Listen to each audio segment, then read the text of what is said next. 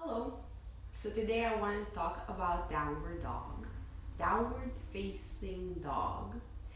And in vinyasa classes, we do a lot of downward dog, and a lot of people do it incorrectly.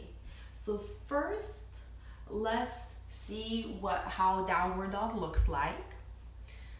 This is downward dog, inverted V and how to measure the distance between your hands and feet, there are a couple of options.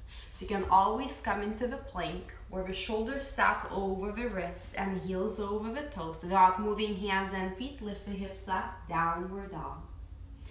That would be downward dog. Also another good measurement, it is extended child's pose. Your, your big toes touching, you sit down onto your heels. The chest is on the floor the fingertips walking towards the top of your mat as much as you can. Now without moving your hands and feet, tuck the toes, lift the hips up, downward dog. You can always come back into the plank and see if you actually made it. And guess what? It is pretty accurate measurement. A lot of te uh, teachers will teach to come from into downward dog from tabletop position and I find it that is way too short downward dog. The heels don't have to be on the ground, but if you come into the plank, you can come into the plank. So the best way to measure is from the plank. And then lift the hips up towards the sky. And so if you don't have space in your hamstrings, bend the knees. You want to maintain straight spine.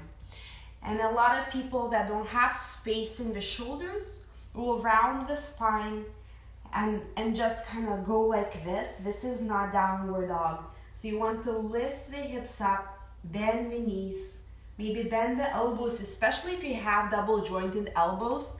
So you want to squeeze the elbows in, release the crown of the head towards the ground, engage the core, scoop the hips up towards the sky.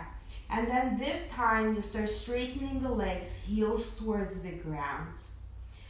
So that would be downward dog also a lot of people in downward dog do not engage the core and that's important.